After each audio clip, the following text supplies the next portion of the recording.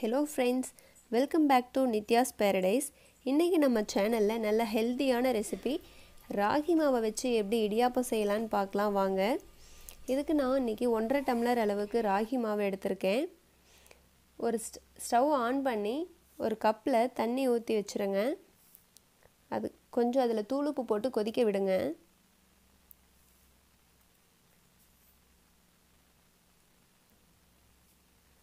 நல்லா இந்த அளவுக்கு கொதித்து வரும்போது ஸ்டவ் ஆஃப் பண்ணிடுங்க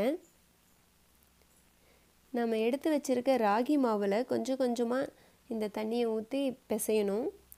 ஒரே டைமில் எல்லா தண்ணியும் ஊற்றிடாதீங்க தண்ணி கொதிச்சுட்ருக்கும் கையை வச்சு பிசைய முடியாது. ஒரு ஸ்பூன் வச்சு பிசைச்சுக்கோங்க. ஒரு ரெண்டு ரெண்டு இல்லை மூணு தடவை கொஞ்சம் கொஞ்சமாக ஊற்றிக்கோங்க தண்ணி அதிகமாக போயிட்டால் இடியாப்பம் நல்லா வராது. தண்ணியோட ஹீட் ஆறுறதுக்கு முன்னாடியே நீங்கள் நல்லா பிசைஞ்சு முடிச்சிடணும். தண்ணி அதிகமாக இருக்குதுன்னு ஃபீல் பண்ணிங்கன்னா கொஞ்சம் மாவு கொட்டிக்கோங்க. கொஞ்சம் கெட்டியாக இருந்துச்சுன்னா மறுபடியும் சுடுதண்ணி கொஞ்சம் கொதிக்க வச்சு கலந்துக்கோங்க. நம்ம கையில் தொடுற அளவுக்கு ஹீட் வரும்போது நீங்கள் நல்லா கையால் பிசைஞ்சு விட்டுக்கோங்க.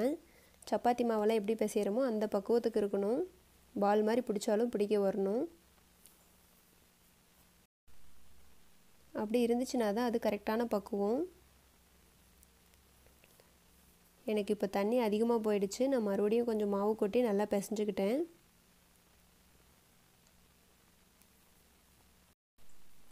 இந்த மாதிரி சப்பாத்தி மாவு மாதிரி இருந்துச்சுன்னா மட்டும்தான் நம்ம இடியாப்பம் செய்யும் போது நல்லா வரும். நீங்கள் எப்படி பிடிச்சாலும் அது வந்து அந்த ஷேப்புக்கு பிடிக்க வரணும். அப்போ தான் கரெக்டாக இருக்கும். இந்த மாதிரி இடியாப்ப குழலுக்கு தகுந்த மாதிரி நீங்கள் வந்து வாழை உருட்டிக்கோங்க. இப்போ இதை நம்ம இடியாப்பச்சில் போடலாம். இந்த இடியாப்ப குழலில் உள்ளே வந்து நம்ம ஆயிலோ இல்லை நெய்யோ விட்டு தடவிக்கோங்க. அப்போ தான் நல்லா ஒட்டாமல் இறங்கும். நான் இட்லி தட்டில் துணி போட்டு அப்படியே அடியில் வச்சிட்றேன்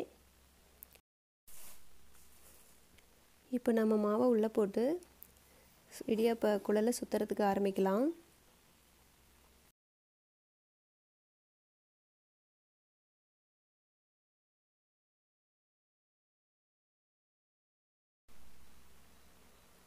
இடியப்பம் கீழே இறங்க ஸ்டார்ட் ஆகும்போது அடியில் இருக்க பிளேட்டை அப்படியே கொஞ்சம் ரவுண்டாக சுற்றி சுற்றி பிடிச்சிங்கன்னா இடியாப்பம் ஒரே இடத்துல குவியாமல் நல்லா ரவுண்டாக வரும்.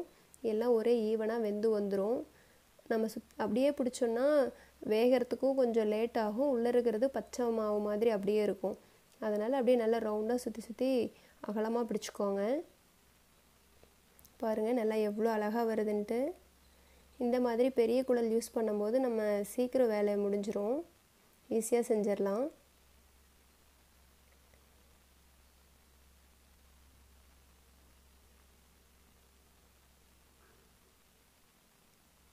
இப்போ நமக்கு ஒரு பிளேட் ரெடி பண்ணியாச்சு. இதை நம்ம இட்லி பாத்திரத்துக்குள்ளே வச்சிடலாம். இதே மாதிரி நம்ம இன்னொரு லேயர் வைக்கணும் இல்லையா? அதுக்கும் செஞ்சிடலாம் வாங்க. இப்போ இதுக்கு வந்து மேலே இருக்க தட்டு பெருசாக இருக்குள்ள அந்த ஸ்டாண்டுக்குள்ளே போகாது. ஸோ நான் சின்னதாக ஒரு தட்டு வச்சு சுற்றி சுற்றி பிடிச்சிக்கிறோம்.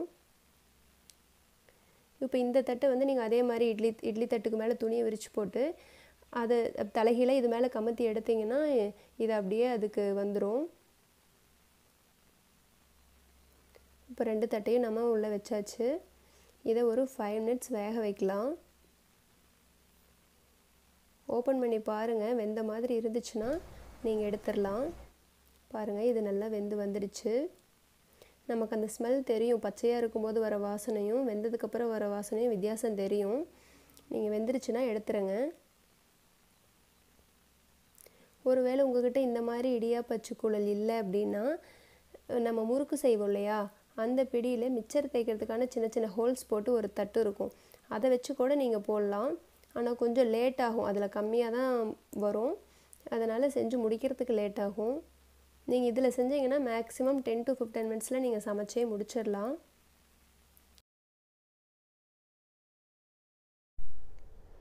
இப்போது நான் இதுக்கு கொஞ்சம் தேங்காயை துருவி சேர்த்திக்கிறேன். இதுக்கு மேலே கொஞ்சம் நாட்டு சர்க்கரை போட்டுக்கோங்க.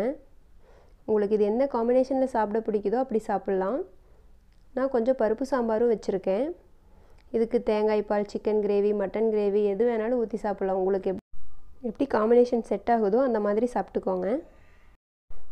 இந்த வீடியோ உங்களுக்கு பிடிச்சிருந்தா லைக் பண்ணுங்கள் ஷேர் பண்ணுங்கள் சப்ஸ்கிரைப் பண்ணுங்கள் பக்கத்தில் இருக்க பெல் பட்டனையும் ப்ரெஸ் பண்ணிக்கோங்க. நன்றி வணக்கம்.